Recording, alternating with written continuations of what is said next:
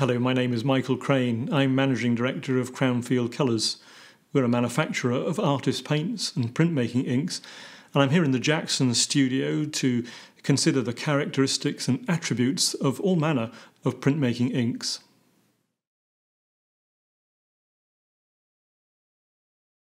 I'd like to take a moment to say a brief word about the major printmaking processes.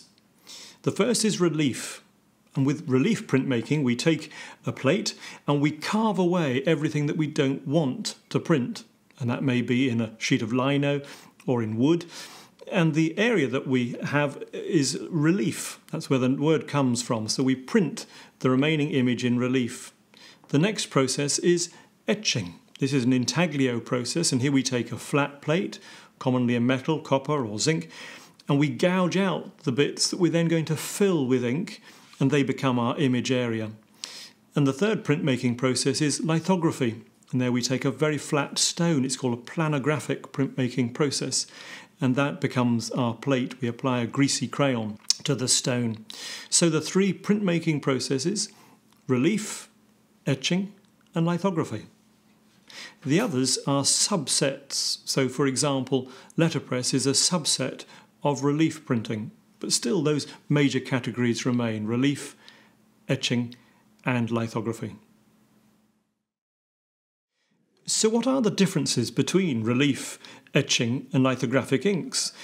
Well, essentially, whilst they're cousins of one another and they contain the same beautiful linseed oil, which is the foundation block of uh, all of Cranfield products, whether they're Caligo, Safe Wash, or traditional, the difference is in the rheology rheology may sound like high science, but it's not. It's very much applied science. You'll know it from the kitchen, if you like. Rheology is simply the science of how things flow.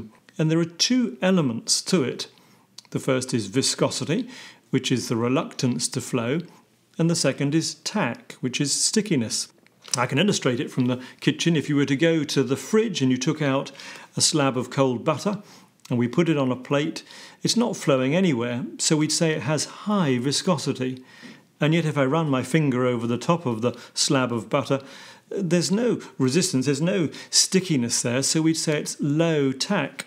If we went to another cupboard in the kitchen and took out a jar of maple syrup and took the cap off, we'd find that it flowed out very easily, so it's low viscosity. But if I stick my finger in the top, it's extremely sticky, very high tack.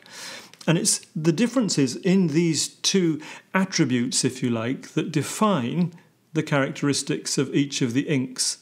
Let's start with etching. What do we need from an etching ink?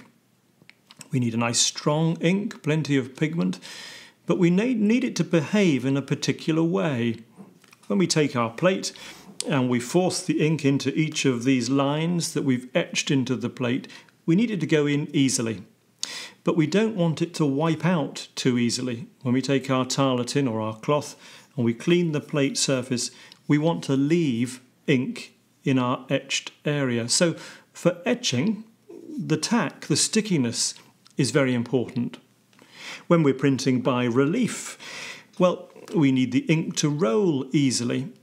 And with any roller, we're concerned that the ink doesn't fly or mist. It shouldn't be so loose that we leave a spray of ink everywhere. It needs to have relatively high body, high tack, and high viscosity.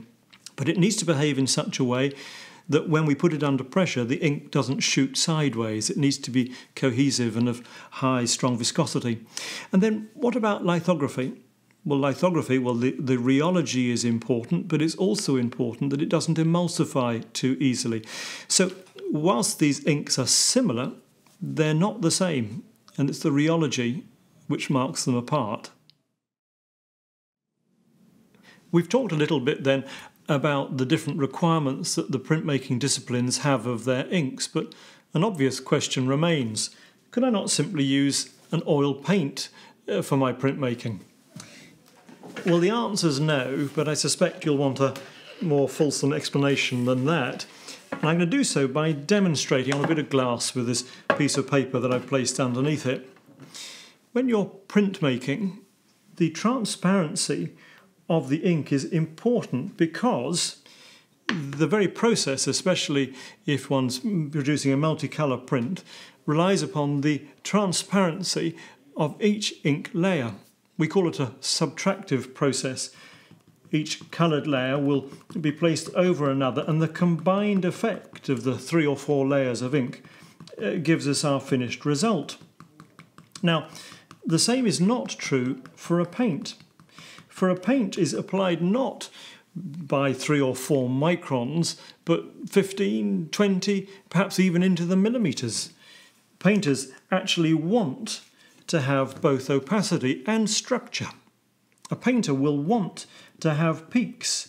They'll want to have brush marks in their uh, painting. In fact, if they don't want brush marks, they actually will add a medium to make that possible. So, oil paints want structure, they want valleys and mountain tops. Inks require a paint, uh, an ink rather, which will roll out smoothly. It's so important, in fact, that if we were to use an oil paint for any process in printmaking, especially those that require a roller, we'd find the product would fly or mist, leaving a, a splatter of ink across the image area. So the long winded answer is no, you should not use an oil paint for printmaking. Let's spend a few moments thinking particularly about the Caligo ranges. These are produced by Cranfield, and the Caligo range is available both in relief and in etching. Now, they're oil based, based on linseed, but the linseed that we choose has a fault line, if you like. It emulsifies in the presence of soap and water. Now, the fact that you need both soap and water is an advantage for us because it means that you can continue to damp your paper if you're an etcher without problem. It's just simply at the end of the day, you're going to find cleaning up with soap and water so much easier. I'll give you a demonstration in a moment. Now, they're oil based. You wash them up with soap and water, but in every other respect, they behave as their traditional counterparts. For some, they may prefer, however, the wider colour range in the traditional variants of both the relief and the etching range. But if you want to stick with Caligo, if you like the environmental advantages that it gives, well, you can visit Jackson's website or give them an email and they'll provide you a colour mixing guide. And that means from the smaller Caligo range, you can mix a very large palette of colours. It's extremely easy to use. It's simply done on a parts basis. So, two parts of this and three parts of this gives you another colour. So, uh, do ask Jackson's for that colour mixing guide. But let me demonstrate now how easy it is to clean up with Caligo. I'm just going to roll some out here on a glass slab and then I'm going to take it over to the sink. And at the sink I'm going to use a, an old paintbrush just to work some soapy water into the uh, ink residue and then I'm going to run it under cold water and with the use of a window cleaning squeegee you'll find how easy it is to clean. Will you follow me?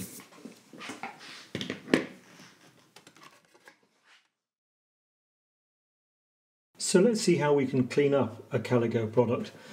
We can use uh, a liquid soap which we can put directly onto the plate or utensil. Other people uh, speak highly of uh, an old paintbrush being uh, reused with a bit of soapy water to work the soap into the ink, and uh, others have used a very sensible adaptation of a window cleaner, a squeegee, which can be used thus to clean our product off the, the plate or the roller. So we've discovered that Caligo washes up with soap and water. But what of our traditional ranges? Well, do you have to use solvent to clean a traditional etching or a traditional reef or our lithographic ink? Well, no, you don't have to.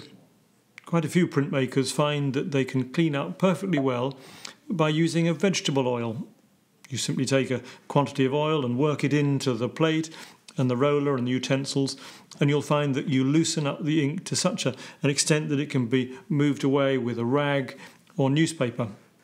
There is an argument that some put forward that the vegetable oil is inefficient in a way, that it creates a larger volume of a very weak ink, and so you're sending to landfill quite a few newspapers and several rags.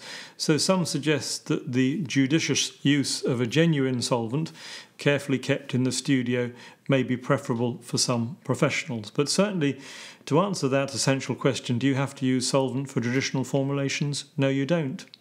Now, we're talking about cleaning up, whether it's rollers, plates. It's also important that we care for our hands. We clean up our hands carefully. And a couple of things I'd point out. The first is that we shouldn't really be overly fascinated by the cleanliness of our hands until we're handling paper, until we're taking our final prints.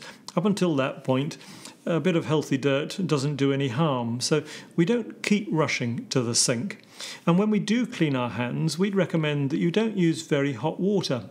150 years ago, people didn't have access to continual hot running water. Today we do, and we take it for granted. And when we do use very hot water, we open the pores of the skin, and the colour can go further in, making it much harder to clean our hands. But once we've cleaned our hands in lukewarm water, we then make sure we protect our skin by using a barrier cream. So we care for our plates, we care for our utensils, and we care for our hands. We're going to take a moment now to consider the ways that you might modify an oil based printmaking ink. Well, the most obvious is you could take an ink and you can simply extend it. Here's a Caligo Safe Wash etching extender. And an extender is simply a colourless ink. And the beauty of it is it, it'll make the colour weaker, but it won't greatly change the stickiness or the viscosity. So an extender does what it says on the tin that it extends the uh, ink, reduces the colour strength, gives us a transparent shade, but it still prints as it would. But the next additive is an oil. This is a Caligo oil, safe wash oil. And here we only need to add a small quantity and very quickly we're going to drink, bring the viscosity level down. Won't greatly change the tack, but the viscosity can be reduced by a small percentage of Caligo Safe Wash oil. The third additive I want to talk about is the wiping compound. And this, essentially, it's a cousin of Vaseline, and it will reduce the stickiness, the tack. It's particularly helpful in etching, where we want to ease the wiping of the plate when we use this product, 4 or 5%, we'll find that the um, ink will very easily clean off the non imaged areas of an etching plate. But as long as we don't add more than 4 or 5%, it'll leave the ink in the uh, recesses, the intaglio area of the plate. But we need to be careful when we add either the oil or the wiping compound because there are perils if we add too much. The dangers are demonstrated perhaps best using this little device in front of me. It's called the Wallace Slope. Uh, I wonder if the man was called Wallace Slope or it was simply produced by a company called Wallace, and it is a slope. And this is what it does we put a small given amount of ink on this very heavy brass roller and we let it roll down a slope. And when we do so, we look at the two footprints that it leaves behind. And we find that if we add too much oil or too much wiping compound, those two footprints are not the same length. And strangely, the first mark, that first stain, will be longer than the second stain. Well, that seems counterintuitive. So, what's going on? Well, if we add too much oil, we move away from something called true rolling. True rolling is the ink maker's ideal. And it means that the rheology of the ink is such that when we push the roller across a surface, every revolution of the roller is matched by the distance that it covers. But when we move away from true rolling, it's a bit like stepping on a banana skin. The roller slips. And so actually the roller travels a greater distance, if you like, it spins. And the trouble of spinning rollers are that it spits out ink we get what's known as ink misting or ink fly. So any of the printmaking processes that require a roller, and that's both lithography and relief, need to be as close to true rolling as possible so that we don't get that ink misting phenomena. So we add both the oil and the wiping compound with care. Another additive we may want to consider is Printmaker's Wax Dryer. Well, this is a combination both of some waxes uh, to help uh, the uh, uh, ink have a nice slip so it's not going to mark, but also dryers which will encourage the uh, uh, ink to dry more quickly. So these are the products that you can buy, but there are other additives too that come for free. One of them is a bit of heat. Using a heated plate, for example, will allow the ink to soften.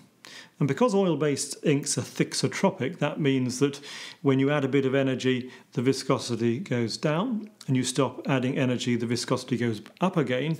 A heated plate is a very simple way of reducing the viscosity for a while whilst you're printing without adversely affecting the rheology of the ink forever. If you're going to add any medium, it's best to add it to the ink that you intend using today and not to the whole tin because you may find when you print tomorrow the conditions are different. A hot day, for example, will automatically make the viscosity of an ink fall. Other additives include a bit of talc, which will help bring the body, the structure of the ink back up. Talc will increase the viscosity, if you like. It won't change the, the tack, but it'll give us more structure. So you may want to add a bit of talc as well. These are the mediums that you can use to adjust and amend an oil based printmaking ink. But as I've said before, it's best to keep the quantities we add to a minimum and experiment first of all with the ink straight from the tin before you rush to amend it with other products.